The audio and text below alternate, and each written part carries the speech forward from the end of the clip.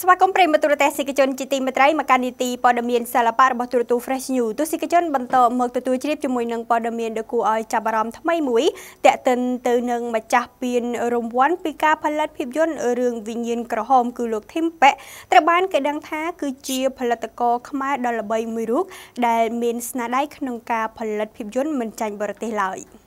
តាមរយៈ spot និងភាពយន្តខ្លីៗនិយាយជាភាសាអង់គ្លេសនិងសម្ដែងដោយជនបរទេសដូចជារឿង Boy រឿង E Walking និងរឿងជាច្រើនទៀតដែលជាស្នាដៃផលិតរបស់ឈ្មោះ Thimpe ម្ចាស់ពានរង្វាន់ពីការផលិតភាពយន្តរឿងវិញ្ញាណក្រហមនៅប្រទេសអូស្ត្រាលីកាលពីឆ្នាំ2006គេស្មានតែផលិតកររូបនេះគឺជាជនជាតិបរទេសយ៉ាងណាមិញម្នាក់ម្នាក់បានសម្ដែងនឹងការចាប់អារម្មណ៍នៅពេលដឹងថាលោកគឺជាជនជាតិខ្មែរហើយលោកមានស្នាដៃរាប់មិនអស់ក្នុងការផលិតភាពយន្តខ្លីៗ sport និងជំនាញកាត់តជាដើមដែលអាចនិយាយបានថាស្នាដៃដែលលោករំលេចឡើងគឺមិនចាញ់ផលិតករបរទេសនោះឡើយក្នុងកិច្ចសម្ភាសតាមរយៈសារអេឡិចត្រូនិកពីប្រទេសអូស្ត្រាលីលោកធីមប៉ែផលិតករជនជាតិខ្មែររស់នៅប្រទេសអូស្ត្រាលីបានថ្លែងថាដោយសារតែលោកបានទទួលការបណ្ដុះបណ្ដាលក្នុងជំនាញផលិតភាពយន្តទាំងការផលិត sport វីដេអូឯកសារជាការកាត់តឬចាក់ពណ៌វីដេអូក្នុងប្រទេសអូស្ត្រាលីទើបលោករមែងផលិតភាពយន្តខ្លីៗជាពិសេសគឺរឿងរន្ធត់រន្ធត់ព្រឺព្រួចហើយដាក់បង្ហោះនៅលើ YouTube មកទល់នឹងពេលនេះលោកផលិតបានច្រើនរឿងមកហើយដោយភាពយន្តខ្លីនីមួយៗលោកក៏នឹងមានគំនិតបន្លាយជាភាពយន្តខ្នាតធំប្រសិនបើមានដៃគូសហការបោះទុនចង់ឲ្យលោកផលិតកាលពីខែកញ្ញាកន្លងទៅនៅពេលលោកមកលេងប្រទេសកម្ពុជាលោកក៏បានផលិត sport ខ្លីក្រោមចំណងជើងថា Cambodia's Wonderful Land ដែលឆ្លុះបញ្ចាំងពីអច្ឆរិយៈនៃកម្ពុជា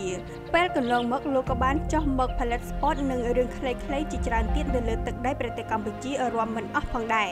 លោកថាខ្លួនទទួលបានការទទួលស្គាល់លើជំនាញផលិតប្លង់រឿងសម្លេងនិងបច្ចេកទេសថតជាយូរមកហើយទើបនៅក្នុងប្រទេសអូស្ត្រាលីលោកទទួលជោគជ័យក្នុងការបើកក្រុមហ៊ុនផលិត sport ផលិតវីដេអូឯកសារជំនាញកាត់តចាក់ពណ៌គុណនិងសោនជាដើមនៅក្នុងប្រទេសអូស្ត្រាលីដោយក្នុងពេលដ៏ខ្លីលោកនឹងក្រុងចុះមកផលិតភាពយន្ត